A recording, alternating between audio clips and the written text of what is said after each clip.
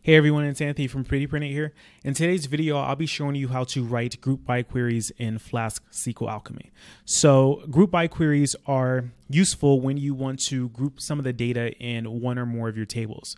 So an example would be, it's let's say you have a table with the names of people and names aren't unique. So a lot of people will have the same name.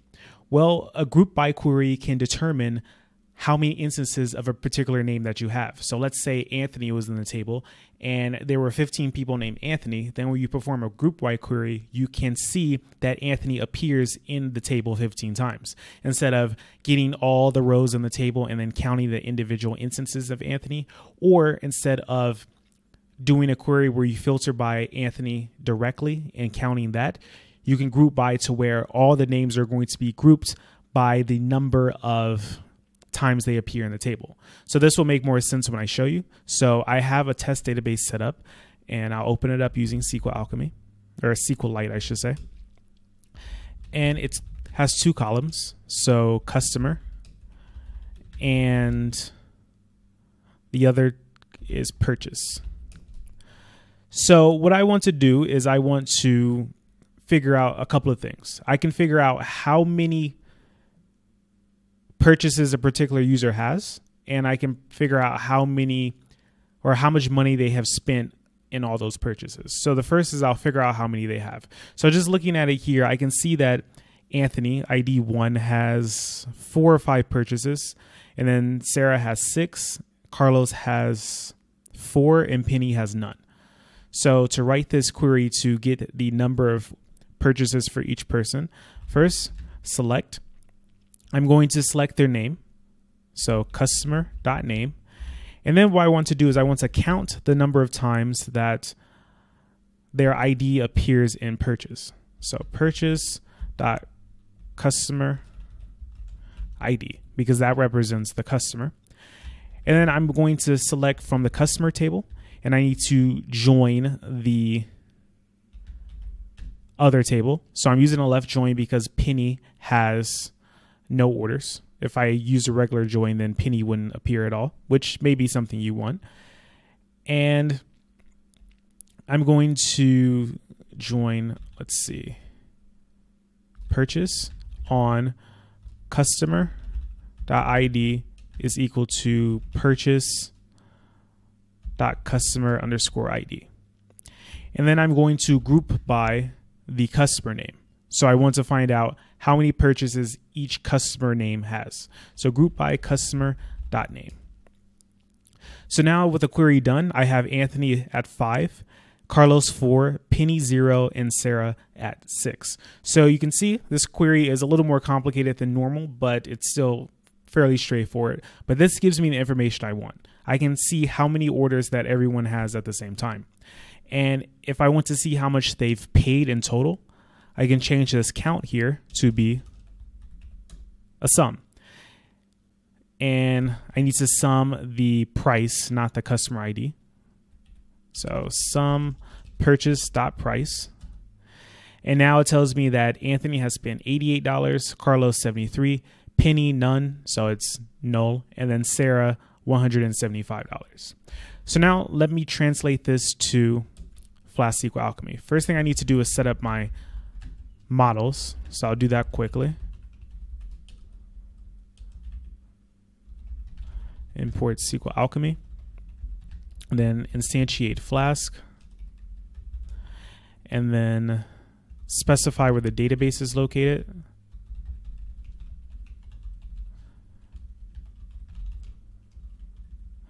Let's see, test.db. And then instantiate the database, or SQL Alchemy, I should say and then I'll create the two classes. So the first is customer, and customer has two columns, an ID column, which is an integer and the primary key, and it has a name column. And then the purchase table has an ID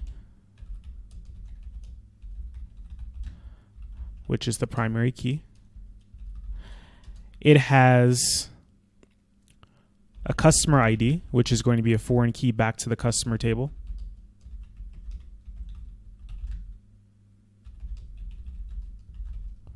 So customer.id. And then it has a price column, which represents how much they paid. So db dot integer. Let's just leave it as an integer. And then there's a relationship between the two. I won't be using this relationship, but normally in Flask SQL Alchemy, you would do this. So I can call this uh, purchases or orders, whatever I want to call it. And see, DB column, or I should say DB relationship to the purchase table. And the back reference is going to be called customer. Okay, so that should be enough. So now I'll start up a Python REPL. And from app import db customer and purchase. So to make sure that the connection is okay, I get an error, no such table. So let's see. The database URI is misspelled. So remove the extra L and then uh, from app import db again, customer, customer query all, and I think I need to restart it. So from app import db customer and purchase customer dot query dot all and it's telling me that it just can't connect. So let's see. Ah, still misspelled. So SQL Alchemy is misspelled.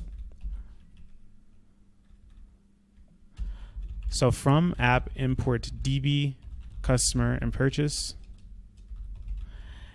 And then customer dot query all. Okay. So now it's connecting to the database. Okay.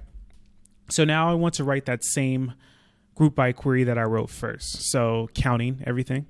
So to do that, I'm going to use the DB object directly instead of using customer because I need more flexibility. So I'm going to write db.session.query. And then the main table that I want to query is going to be customer in this case. Then I'll come back to this. And then I need to join the order table. So outer join. And this can be a regular join as well, but if I do a regular join, it's going to leave out Penny because she doesn't have any purchases. So outer join, let's see, purchase, and the join is going to be on customer.id is equal to purchase.customer underscore ID. So the double equals is needed because this is Python, but this is just the syntax in Flask SQL Alchemy for joining a table. So the first table and then the first table is what I have here in the query. The second table, the right side table, is purchase here, and the condition that they're both joined on is here. And then I'll add a group by. So group by customer dot name, and then all results. So let's see. It says customer is not defined. These should be uppercase, not lowercase. So let me just put uppercase there, uppercase there. They refer to the class. And now what I want to do is I want to actually see the same data that I saw before. So I want to see the customer name and I want to see the number of purchases they have. So to do that, I need to count the number of times their ID appears in the purchase table. And to do that, I'm going to use db.func, so F-U-N-C, dot count, and then I'll pass in the column that I want to count. So purchase dot customer underscore ID, just like that. So now when I run the query, I see that Anthony has five purchases, Carlos has four purchases, Penny has no purchases, and Sarah has six purchases. So if I want to do the second example that I had, the sum, it's pretty similar. Instead of counts, I'll use the sum. So func allows me to use the standard database functions. So count is a function, sum is a function. If you have other functions in mind that the database has, you would use db.func. So sum, and instead of summing the customer ID, I want to sum the price to get how much they paid for all their purchases in total.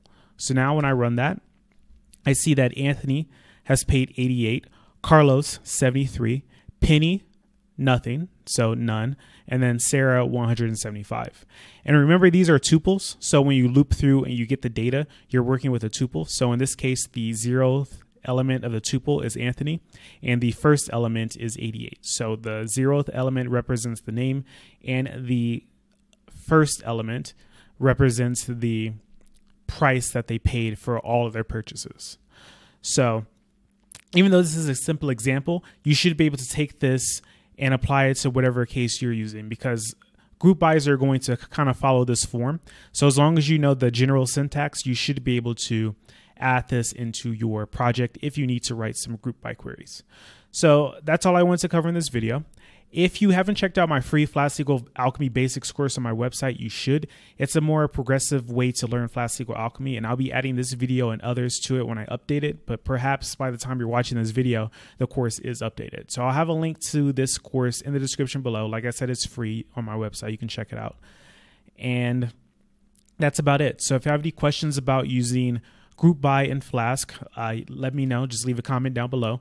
If you like this video please give me a thumbs up. And if you haven't subscribed to my channel already please subscribe.